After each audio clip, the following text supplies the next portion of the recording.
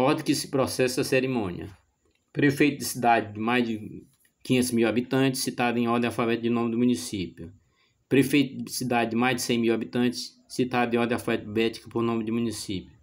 Demais prefeitos citados em ordem alfabética no nome do município. Vereadores municipais, sacerdote geral e pastores. Posiciona na mesa de honra. Mesa ímpar. A pessoa mais importante, primeiro da lista de precedência, fica no centro. A segunda pessoa mais importante fica à direita da pessoa mais importante. A terceira pessoa mais importante fica à esquerda da mais importante. A distribuição continua nessa ordem.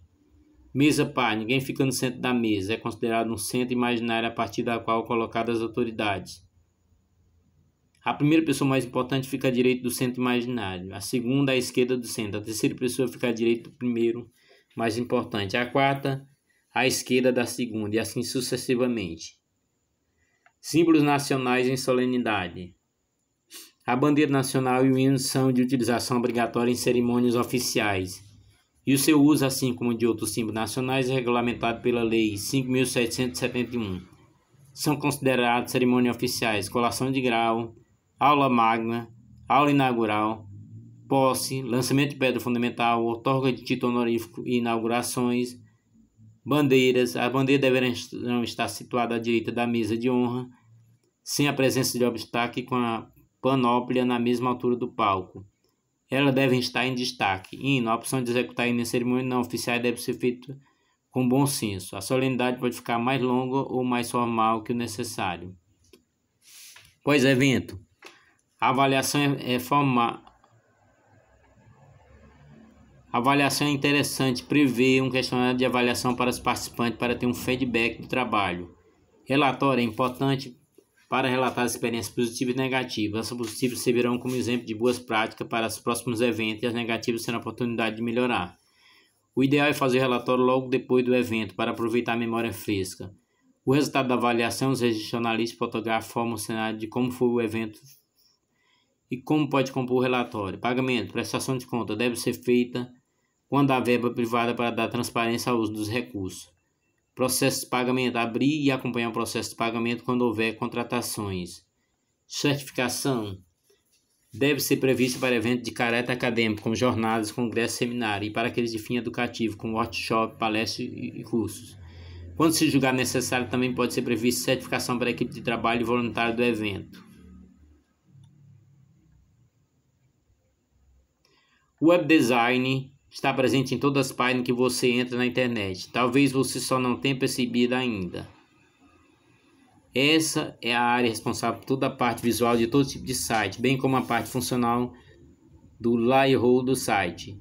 Web design é uma área de design que cuida de toda a comunicação visual de uma página da internet, sendo não só responsável pela parte estética de um site, como também da parte funcionalidade do site, ou seja, uma página, loja virtual, software precisa ser tão bonito quanto funcional para o usuário. Isso garante uma maior confiabilidade e melhor experiência do usuário, o que aumenta a sua conversão. Além disso, o web design precisa transmitir da marca em cada uma das suas peças, alinhando com o branding da empresa, ao mesmo tempo se comunica com o público-alvo.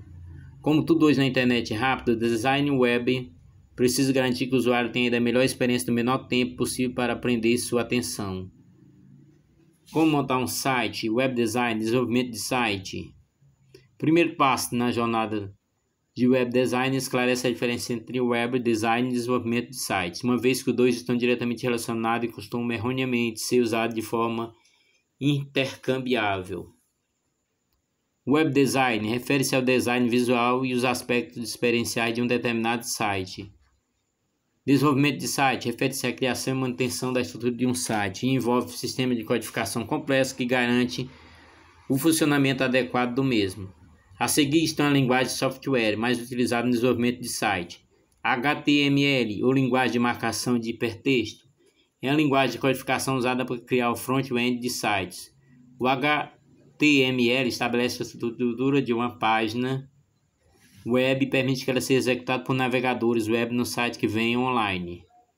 CSS, Cascading Style Sheets, é uma linguagem de design de programação que inclui todas as informações relevantes relacionadas à exibição de uma página na web. O CSS trabalha com HTML para elaborar o estilo e a formatação de um site ou página, incluindo Larro, fontes, Page e muito mais. CMS, ou Sistema de Gerenciamento de Conteúdo, é um aplicativo de software de computador que gerencia o conteúdo digital de um site. Wix é um exemplo de CMS que funciona com um sistema de fácil utilização para desenvolvimento de conteúdo de sites da web. Com ele é possível criar um site e fazer atualizações sem necessidade de conhecimento do uso de código. Com as ferramentas certas, dica da web design e tutoriais. Qualquer pessoa pode criar um site sem precisar ser um especialista em linguagem específica.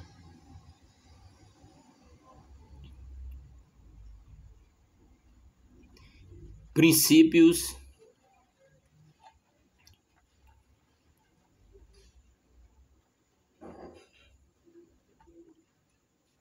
Princípio do design. Aplicado ao site, uma das primeiras etapas para atender o que é web design é reconhecer um bom web design e aprender como alcançá-lo. Podemos ter como referência os principais do, do, do design. Os princípios do design, uma teoria utilizada por artistas e designers que delinea as qualidades visuais que qualquer composição deve buscar. A aplicação desse princípio ao web design pode ajudar design iniciante e experiente a criar um site com aparência harmoniosa essas não são regras rígidas a serem seguidas, mas diretrizes para aprender como podemos aplicar os vários elementos do design de site. Quando entendemos o objetivo do web design e nos sentimos mais confortável com cada elemento do site, poderemos ajustar a abordagem com um toque mais criativo. Equilíbrio visual significa garantir que nenhum dos elementos em uma única composição seja excessivamente forte. Isso pode ser aplicado ao web design desenhando uma linha imaginária no centro da página, organizando os elementos de forma que o peso visual seja igual em ambos os lados. Há duas formas principais de alcançar equilíbrio em um site. Equilíbrio simétrico é quando o peso visual em ambos os lados dessa linha são iguais e organizado como uma imagem espelhada. Quando aplicado ao web design, pode evocar sensações de equilíbrio, beleza e consistência. Equilíbrio assimétrico é quando o peso visual é igual em ambos os lados, mas a composição e ordem dos elementos variam, ou seja, não é imagem espelhada. O design assimétrica equilibrada é considerada uma abordagem moderna, que uma experiência mais dinâmica para o visitante, mantendo uma composição harmoniosa. O contraste refere-se à disposição dos elementos justapostos de uma forma que destaque sua diferença, escuro e claro, suave e áspero, grande e pequeno.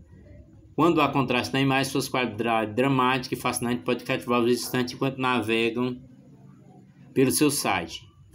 Ênfase. O primeiro da ênfase nos faz lembrar que nem todos os elementos do site são iguais, seja como um logo, confira o nosso criador de logo, um CTA ou uma imagem.